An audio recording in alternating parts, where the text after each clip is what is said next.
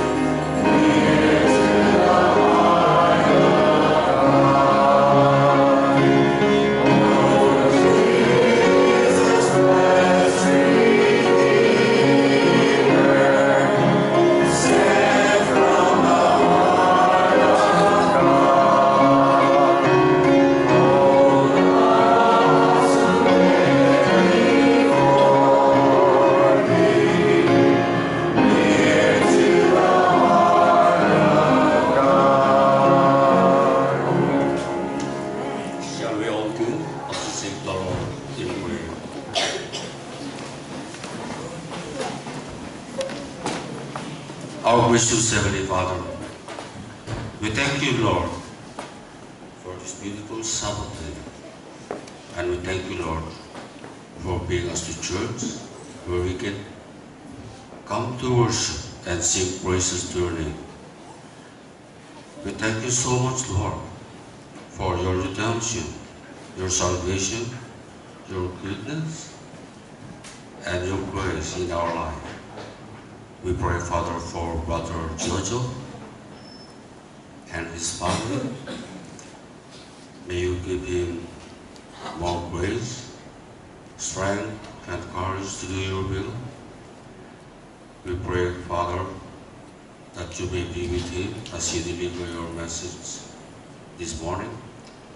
And we pray, Father, for our church as a whole, that we may be in unity in loving to one another. We thank you, Father, for our visitors who come to worship with us. May we be blessed as we worship together. And we pray, Father, those who are grieving, for those who are sick, discouraged, may you uh, give them comfort, healing, and peace. We ask you, Father, for forgiveness, where we have come short to your glory. May you lead us, Lord, into your righteousness. And we pray, Father, for the Holy Spirit to be with us. May He guide us to all truth as we study your word. May you open our heart and our mind and fill us with knowledge with your will in all wisdom and spiritual understanding. We thank you, Father, for hearing and answering our prayer. In Jesus' name we pray. Amen. Today's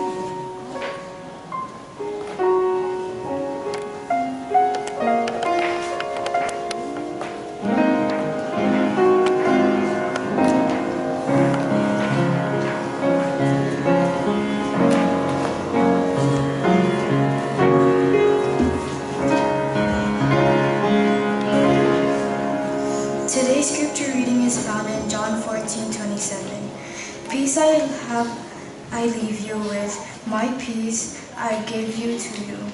Not as the world gives do I give you. Let not your hearts be troubled, neither let them be afraid.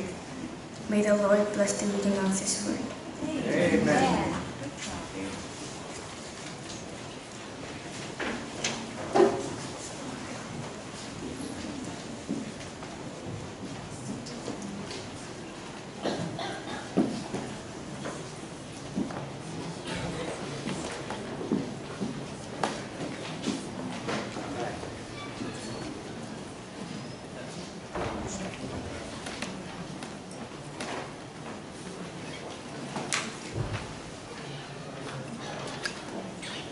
Morning, church. Good morning. Good morning. Can you hear me? Test, test. Okay. Okay. There you go. Happy Sabbath. Happy Sabbath, everybody. Happy Sabbath. It's good to be back here again. Good to have you. Thank you for inviting me to speak here again with you guys. Uh, the last time I spoke here was that was January. Wow, that's fast. That was fast.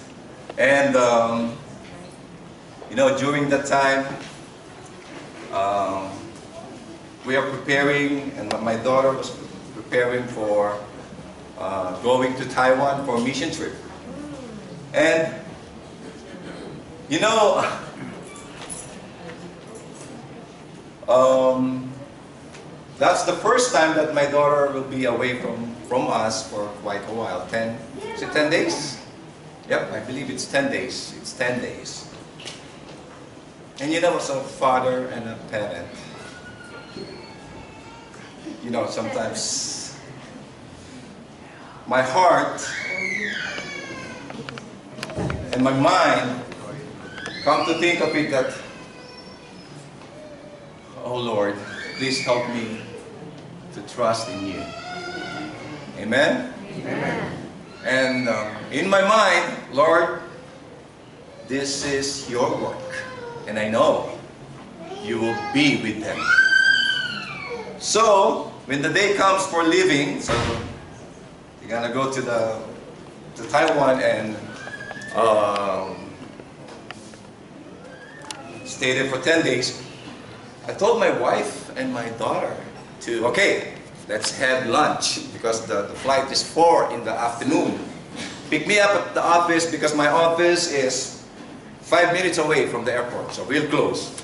And that's okay, okay, we're gonna eat lunch first before we, uh, we go to Taiwan. Okay, okay, let's go eat lunch, everybody, okay. So, they pick me up 11.30 and they need to be at the airport by 1 o'clock. So we have at least an hour to eat, spend time together, talk stories, you know. So they pick me up, I run, I jumped in, in the car, I grabbed the steering wheel, and I look at my wife and my daughter. Everybody's good? Yes. Did you grab everything? Yes. Guess what they forgot? Passport. Passport! Then they look at each other. No, you got it, you got it. Told myself, I need to sip my mouth. So instead of eating lunch together, we drive back to Kapolei to look for the passport and grab it, just you know, open the fridge, I grab something, ah, just to eat it fast. Head back to the airport. And I think there's only three words. God bless you. Only three words. I love you. My wife's not talking, my daughter is not talking to. I'm not talking to because that's the time that they're gonna test us. Because sometimes it's so upset. You gotta be upset easily right away. Right? So I thank God that He shot my mom. So, didn't hurt anybody. So, everything went well. Amen. Amen. So, my message for today is living in peace. Amen. Nowadays, um, when my brother Dan uh, broke the news about the shooting, have you heard in Texas? Ten students died. When I heard that, my heart bleeds. Why this thing needs to happen to our children? Why? There is why, why, why.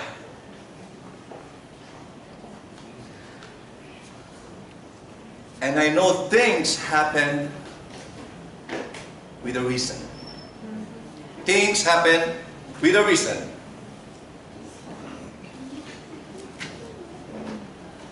Peace is something everyone wants, yet few seems to find. So what is peace? It can be defined as a tranquility, harmony, or security depending on the situation.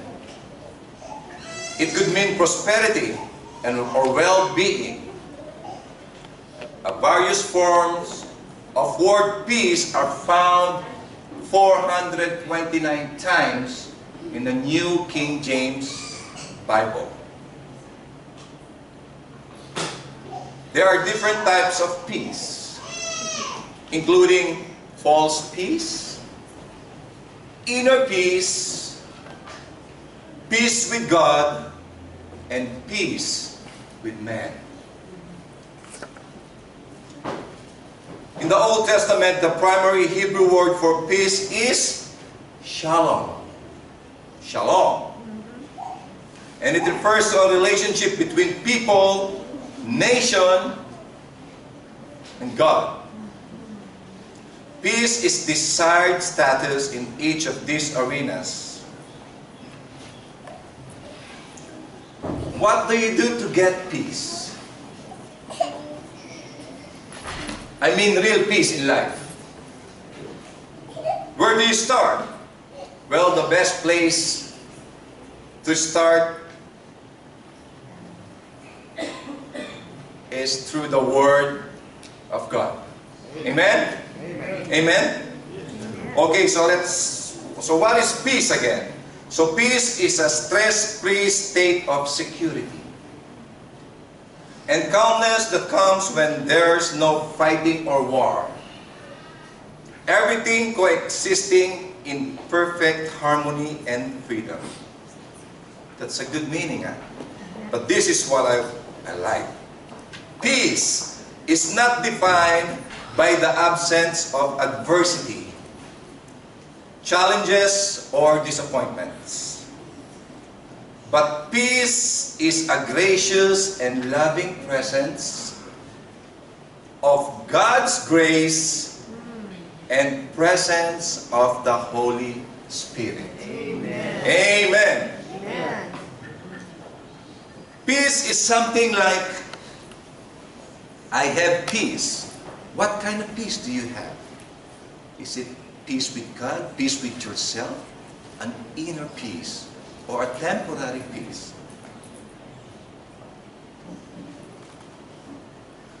Inner peace is a wholeness of mind and spirit, a whole heart at rest. Inner peace has a little to do with external surrounding. And this is what we do have on our scripture reading.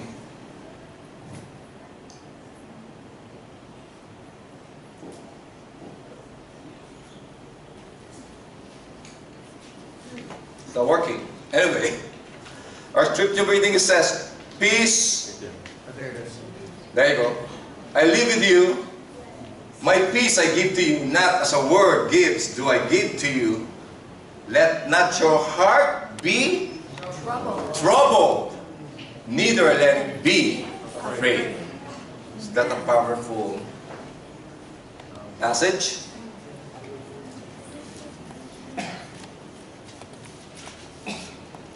But take heart. What it says in John 16 33. In this world you will have many troubles. So peace is not the absence of trouble, it is the presence of God. Amen. Amen? Sister White,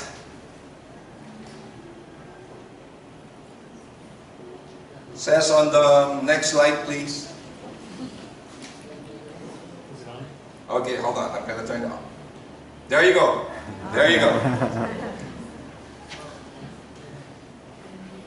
Heavenly Places, page 35, it says, Whoever consents to renounce sin and open his heart to the love of Christ becomes a partaker of his heavenly peace. There is no other ground of peace than this.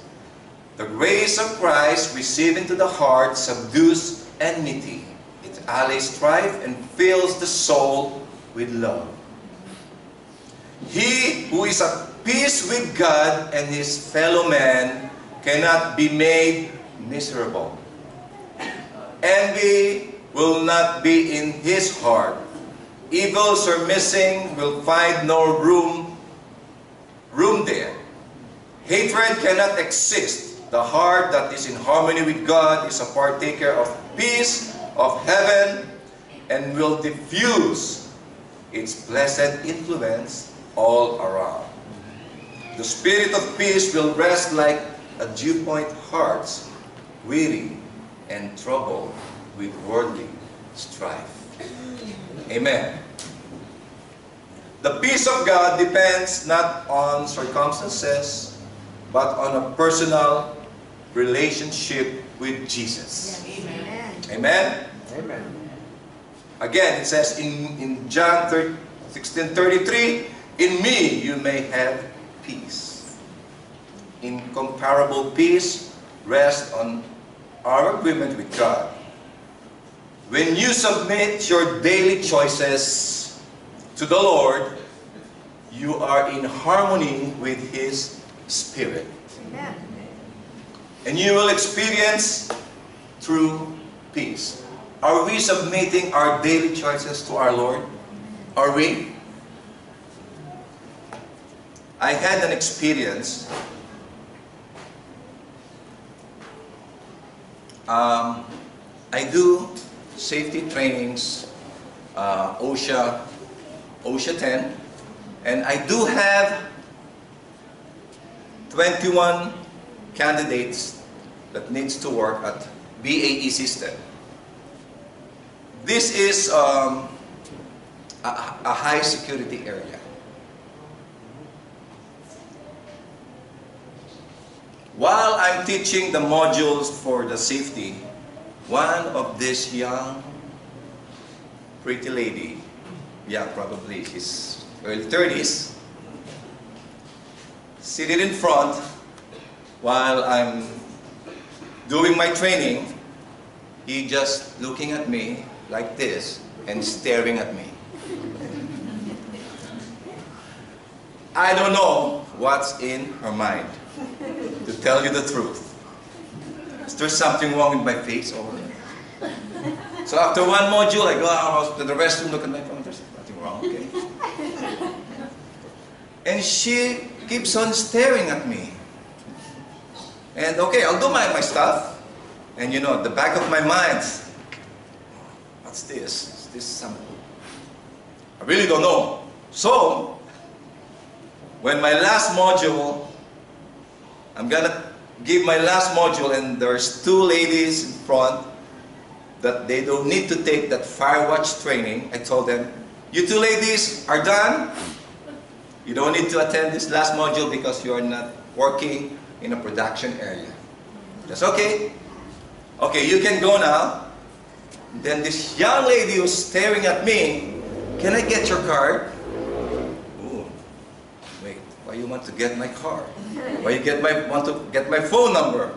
Okay, grab my, my, my wallet, get my business card, and I give it to her. This is my card. You can call me if you need some prayer. We have a prayer warrior in Waiwa. and I'm gonna preach two, two Saturdays from now at Wa- uh, Waipahu Seventh-day Adventist Church and I'm inviting you if you want to come and join us. And he's staring at me. Are you serious? Told me, yes, I'm serious. And then I give the other card to my, to, to, I mean, to, to other candidates, uh, other lady, and you can call me. We have a prayer warrior if you want to pray for anything. Just give me a call, and I will pray for you if you need it. The enemy is working overtime.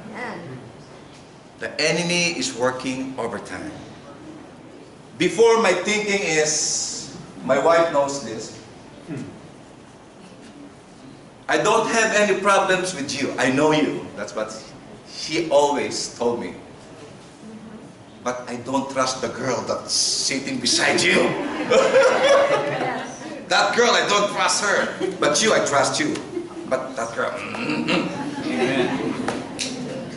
So we need to be connected to our Lord always. Because the enemy, they try to sneak in. And they know all our weaknesses. Mm. And they're gonna hit us there to our weaknesses. Believers have an obligation to let peace of God rule. If you have your Bible, please open to Colossians 3, verse 15. Colossians 3, verse 15. 15. And it says, Let the peace of Christ rule in your hearts, since as a member of one body you were called to peace, and be thankful. Amen. Amen. And be thankful. This means we have the choice either to trust God, God's promises, and letting His peace rule in our hearts, or to rely on ourselves and reject the peace He offers, which is a lot of times we just rely on ourselves. Right? It happens to me. It happens to me.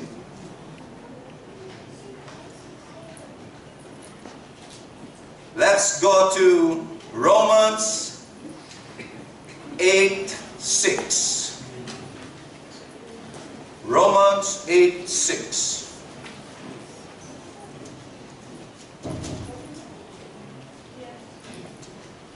Are you there? Amen. Amen.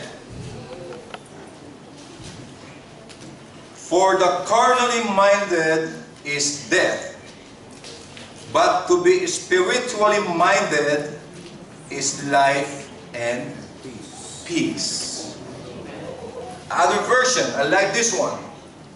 The mind of a sinful man is death, but the mind controlled by the Spirit is life in peace. Amen?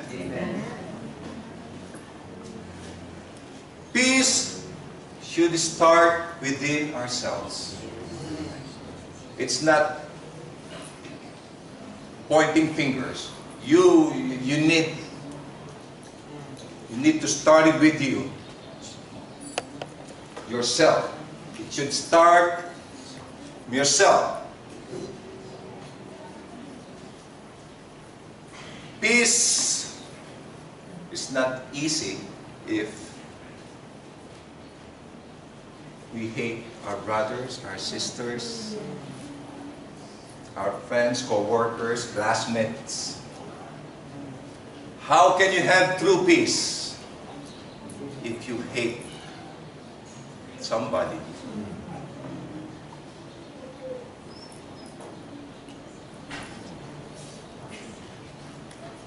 The hardest part in our life is when they push our back in the wall. If life is good, everything seems okay. Everything seems okay. My wife, when she receives a medical bill, when was that? Friday, Thursday. Seems like she's,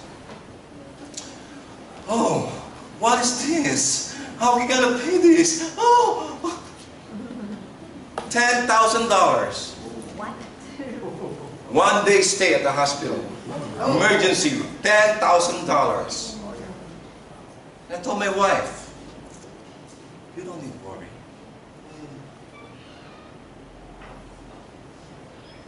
God will take care of this bill. I tell you, God will take care of this bill.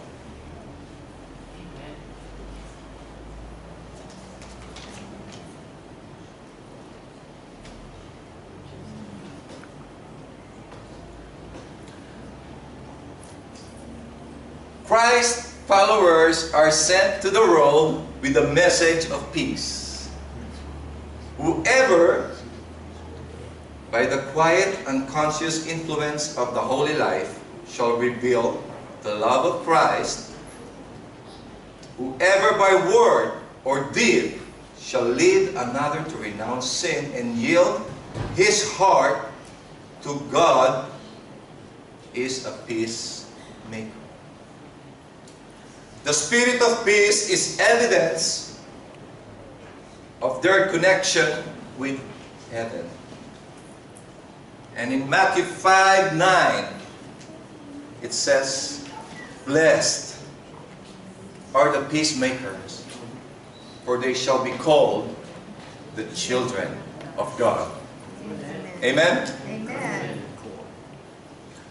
The Bible has a lot to say about peace. Jesus is called the Prince of Peace in Isaiah 9 6. The term peace is often used as a greeting and a benediction. So, what exactly is peace? And how can we have inner peace? So, peace is a fruit of the Spirit, right? Part of the Galatians 5.22. When the God of all peace comes to live inside a believing heart, He begins to produce His own characteristics in that life. Inner peace comes from knowing that circumstances are temporary and that God is the sovereign. Overall peace comes from ex- exercising faith in the character of God and His Word.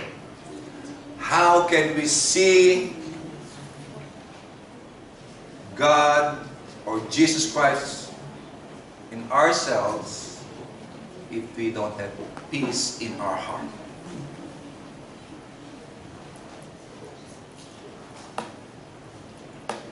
Inner peace resulting from a relationship with God allows us to keep things in proper perspective. We can accept difficult situations on earth by remembering that our citizenship is in heaven. Amen? It's not here. We are only temporary passing on this earth. And this is not our home. You know the song, This world is not my home. I'm just passing through. Let's open our Bible. But before we do that, I'd like you to ask, why do we have two ears and one mouth? Probably you know. There you go. More listening, less talking. But what are we doing?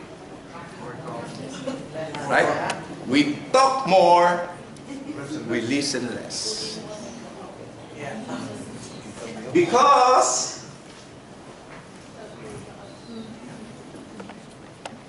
we want to be known, we want to be, I'm right, I'm correct, I'm bad. so, sorry for that. Because I saw somebody's pointing. sorry for that. Um, we want to be in control. I, I, I, I'm right. I'm the one who needs.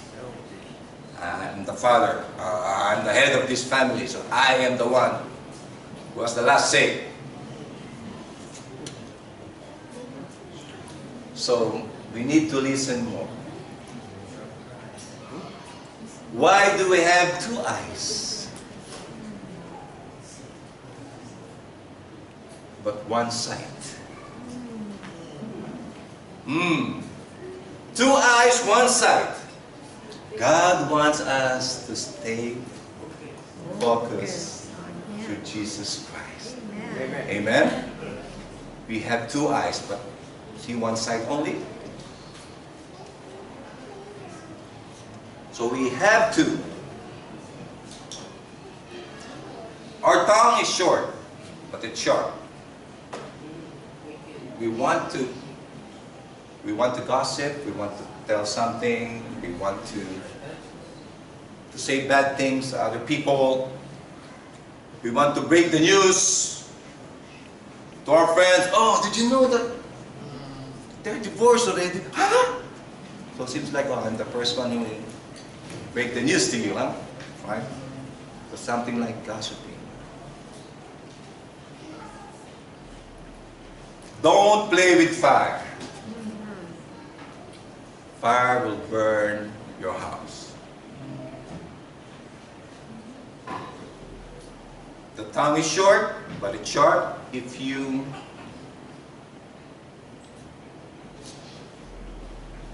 say something bad, you cannot take it back. You cannot, you cannot take it back. So watch out what you say. Isaiah 32. Isaiah 32, verse 17.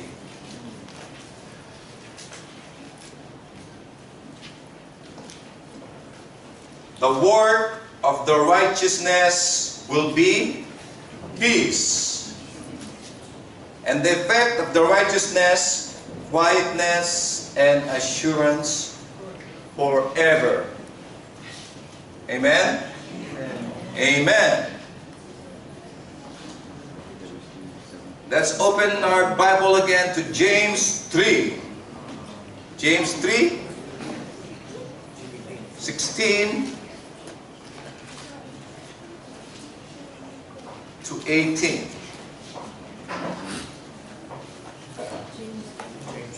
James 3, 16 to 18. Are you there? Amen? For where envy and self-seeking exists, confusion and envy, every evil things are there. 17. But the wisdom that is from above is first pure, then peaceable, gentle, willing to yield, full of mercy and good fruits. So what, what are the fruits of the Spirit? Love, joy, peace, kindness, goodness. Without partially and without hypocrisy. And now the fruit of righteousness is sown in peace by those who make peace. Amen? Amen. Amen. Amen. And even Sister White says in heavenly places, sin has destroyed our peace. While self is unsubdued, we can find no rest. The masterful passion of the heart, no human power can control. We are as helpless here as were the disciples to control the raging storm.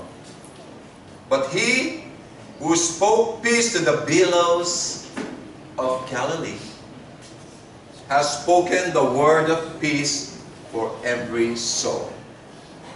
In Romans 5.1, being justified by faith, we have peace with God through our Lord Jesus Christ. Amen? We are commanded to live in peace with others. To live at peace means we interact with those around us in accordance with our own wholeness of mind. Our reaction to circumstances can bring peace to an otherwise chaotic situation. Blessed are the peacemakers.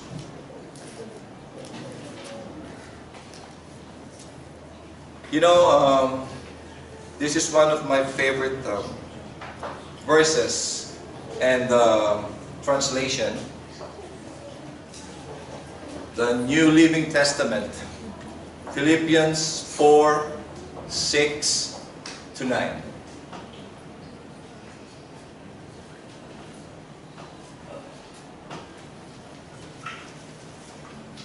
Don't worry about anything. Instead, pray about everything.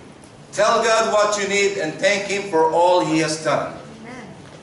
Then you will experience God's peace, which exceeds anything we can understand. His peace will guard your heart and mind as you live in Christ Jesus. And now, dear brothers and sisters, one final thing, fix your thoughts on what is true and honorable and right and pure and lovely and admirably. Think about things that are excellent and worthy of praise.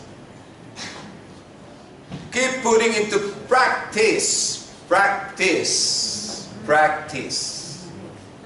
All you learned and received from me, everything you heard from me and saw me doing, then the God of peace will be with you. Amen? Amen. Those professional athletes earns millions and millions of dollars. They don't just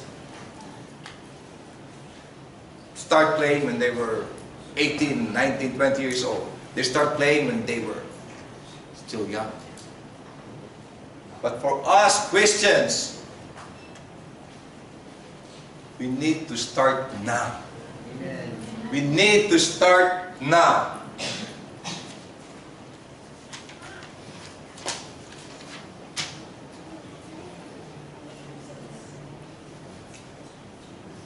The Foundation of Our Peace, originally published in Review and Herald, May 19, 1896. And it says, The peace spoken of the great teacher is larger and fuller than we have imagined. Christ is ready to do large things for us to restore our natures by making us partakers of His divine nature. When we believe in Christ as our personal Savior, the peace of Christ is ours. The reconciliation provided for us in the atonement of Christ is the foundation of our peace. Whatever may be the tribulation that shall come upon us in the world, we are to be of a good cheer, knowing that Christ has overcome the world. We will have tribulations in this world, but peace in Jesus Christ. Turn your eyes from within and look to Jesus, who is your only helper. Amen. Amen. And in conclusion of this uh, message,